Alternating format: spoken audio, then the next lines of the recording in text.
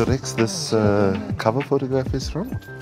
That's from uh, 1975. That's the first time we saw the whalers.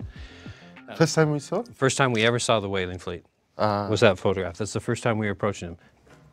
The thing is, when, when Greenpeace was starting, what we wanted to do was we wanted to create an environmental movement. We thought, well, you know, there's a civil rights movement, there's a women's movement, this is all great, but there needs to be an environmental movement. We weren't really thinking of starting an organization. Right? That wasn't our plan. We weren't trying to make Greenpeace famous. We were trying to make in the environment famous. I mean, the thing about Greenpeace in the beginning was it was pretty grassroots, and, and it was, we didn't have any money, and it was all volunteers, and it was pretty crazy at times. But it wasn't just chaos. We were actually trying to think it through. You know, from the time of the first whale campaign in 1975, Greenpeace suddenly became instantly popular. Every time we were successful in making the nuclear weapons issue popular or making the whales popular or the seals popular, we also simultaneously made Greenpeace popular. And then people wanted to have Greenpeace offices all over the world. And, you know, our first response is, cool, open them up. Well, now, you know, 40 years later, we take it for granted that there's, there's an environmental movement. And we also take it for granted that Greenpeace is this huge international organization. But we, we had no intention really of starting an international organization.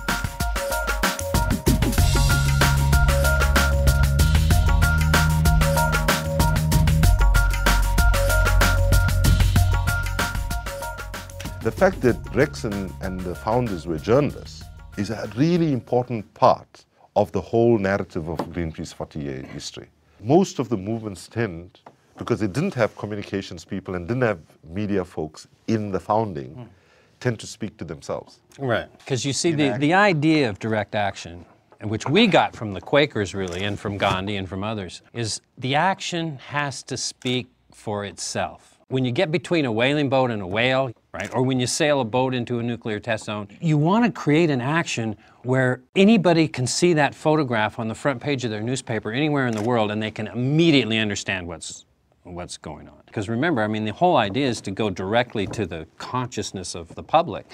You have to say things in a way that is going to help the person digest the idea that you're trying to say. And humor is one of them. Better to look silly sometimes and to even mock yourself and go, oh, you know, there we go again, you know, doing some crazy stunt, you know.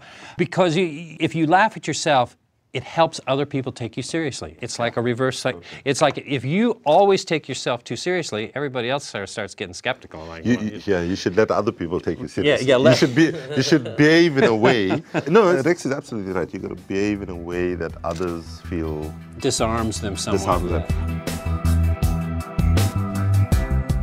I've been saying in lots of media work and so on that you know the struggle for environmental justice is not a popularity contest. Right. It's about speaking truth to power. It's about bearing witness to what's happening, and it's about actually saying some really hard, uncomfortable facts, such mm. as We're here. the waters We're are going black, Yeah. the trees are disappearing, Yeah. the fish are you know Gone, either yeah. contaminated, gone, or, or poisoned. And when you put that kind of reality on the table, it tells us that we have to actually go back to the prophecy of the warriors of the rainbow, right? You know, we have reached that. The prophecy is with us now. Right. But I do think we have to get better at making the environmental struggle a social struggle.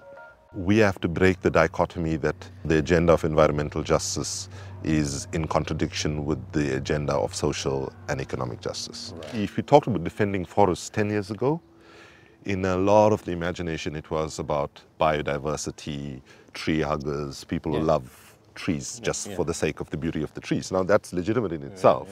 But if we speak about defending the forests as critical to the livelihoods of people in the Right. forests, critical use. for the, uh, the lungs of the planet, Yeah, yeah, yeah. and it affects everybody, then you can actually build a broader narrative that more people feel Yeah. that they're stakeholders in the struggle. Yeah. And if we had, you know, 100,000 local groups, they could be talking about what actions they can take on the environment in their communities, what actions they can da- take to lobby the local government. We have to not simply think out of the box, we must chuck the bloody box away and think in a very different way. The fact is, we have seen throughout even our own lifetimes, and well as human history, that we can actually go through these social transformations, which at one point we thought impossible.